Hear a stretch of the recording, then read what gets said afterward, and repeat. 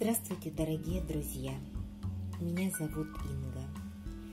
И сегодня я хочу предложить вам подборку теплых юбок и сарафанов из твида, шерсти, трикотажа, стеганых на синтепоне, из шотландки.